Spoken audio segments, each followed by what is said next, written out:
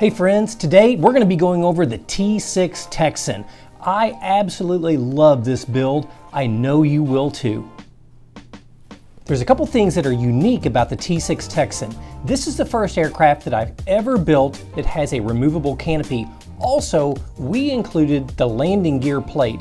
If you like adding landing gear to your aircraft, this is the one to pick. As with all current Master Series aircraft, the T6 Texan uses symbol mapping. Symbol mapping is simply the laser etching of instructions on the underside of the part. At the end of the playlist, we will do a unique features section specific to the T6 Texan.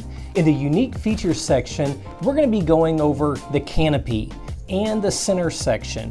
One other thing we're going to be going over in the unique features section is the landing gear housing located in the wing. We're also going to be covering intakes, fairings, and exhausts. I think that's everything we need to go over. Let's get to building.